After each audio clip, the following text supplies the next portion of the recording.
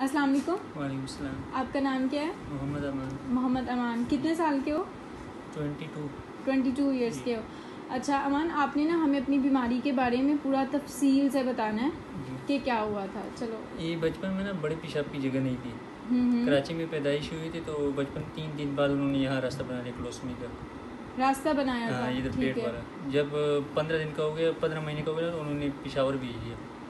अच्छा पिशावर भेजा था। पिशावर क्यों भेजा उन्होंने? पिशावर उन्होंने भेजा कि आप नीचे रास्ता वही बनाएँगे। फिर उन्होंने बना दिया पंद्रह महीने बाद। जब अठारह महीने का हो गया तो उन्होंने वापस ये बंद करके नीचे रास्ता चालू कर लिया प्लस में रिवर्स करके तो नीचे रास्ता चालू किया तो फिर वो डायरेक्ट कंट्रोल नहीं आ रहा था उसमें से। फिर डॉक्टर ने कहा कि उम्र के लिहाज से सिट होएगा।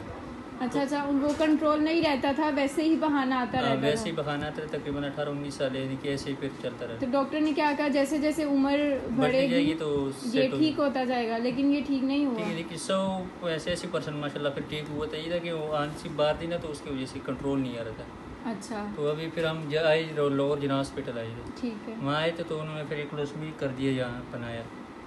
अच्छा फिर उन्होंने दोबारा क्लास्टमी बना दी। ये तो फिर जब उन्होंने नीचे रास्ता देख लिया तो उन्होंने कहा कि ये हमसे नहीं हो सकता। तो फिर इधर ये हॉस्पिटल का नाम बताया था। अच्छा। वो तो उन्होंने फिर इधर डॉक्टर अब्बास से मुलाकात हो गई। तो उन्होंने फिर नीचे रास्ता बना दिया अभी तो क्लोसमी रिवर्स कर भी माशाल्लाह कम है। अच्छा डॉक्टर अब्बास ने रास्ता कितने महीने पहले बनाया था? तकरीबन बनाया था आठ महीने हो गई मेरे।